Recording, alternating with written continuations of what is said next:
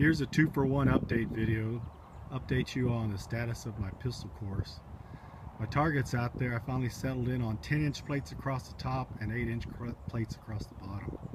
Uh, last video I made, which was on the uh, Beretta M922LR uh, review and update, I showed you 10, uh, 8 inches and 6 inch plates.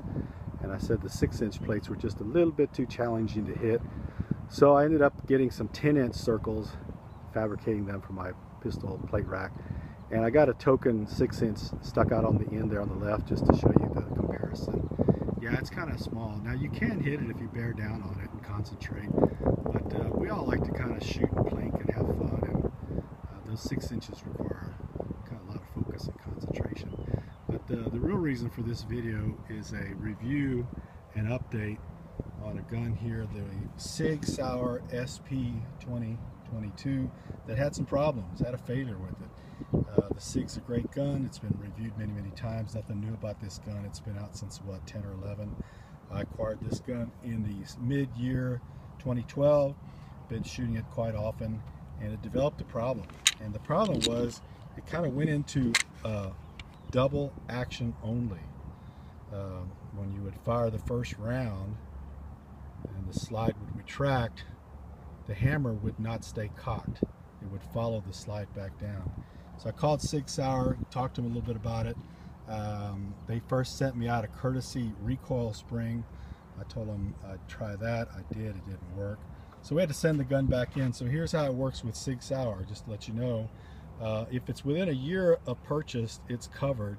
If it's outside of a year, you got to pay shipping both ways. Shipping both ways for me in Central Texas worked out to be about 55 bucks. But they, re they repaired it, sent it back. It took about two weeks, 15, 16 days, a little over two weeks to get it back. Works great now. And uh, let me close it here to show you. Of course, it's empty. Closing it. And if you look closely here, they put a brand new hammer on there. That's what they ended up doing. Uh, there wasn't uh, many details on the return um, nomenclature, the return paperwork about what exactly they did. Uh, the problem, they call it, would not stay cocked. That's how the, the gunsmith identified it. I said it would be double action only. Kind of the same thing, I guess. And they put a brand new hammer on there. So apparently some sear inside there or some mechanism wore out or broke or cracked or whatever. So I got it repaired uh, for free, I guess. But, uh, you know, you didn't have to pay shipping. And to follow up here, this is what those targets look like. This is a six inch target. And so out there in the, in the distance, that's 3 8 inch hot roll material. It's not hardened, it's not AR 500, 400, it's just regular rolls, uh, carbon steel, but 3 8 material. 3 8 material withstands everything 44 mag and less.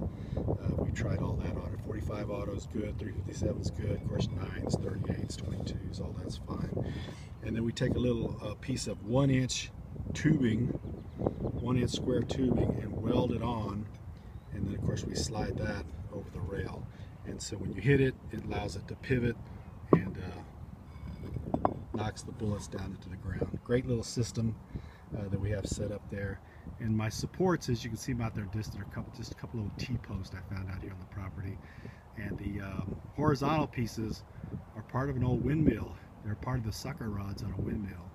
Uh, if you know what that is, you can take a laugh. If you don't know what that is, uh, look that up. But that's the rod that goes down into the well that pulls the water out. They're tempered steel, very nice and hard, about a half inch in diameter, they work great for my pistol targets. So uh, that was one of the constraints out here to get this thing set up, as I wanted to repurpose things I found out on the property to minimize costs. Of course, I did have to buy the plates. I had those cut from the plasma shop over at River City Steel here in Central Texas. And they cut them out for me, about $12 a piece, so that's not so bad. All right, so that's the update. The SP 2022 back in the project, back in the house, looking good, working perfect. And uh, back from SIG, took all uh, working perfect again. Uh, so yes, these SIG Sauers can fail, but SIG stands behind their work. Did a great job of fixing it, works fantastic now. I've had a couple hundred rounds to it without a problem. All right, that's the end of this video. Thanks for watching, like, and comment.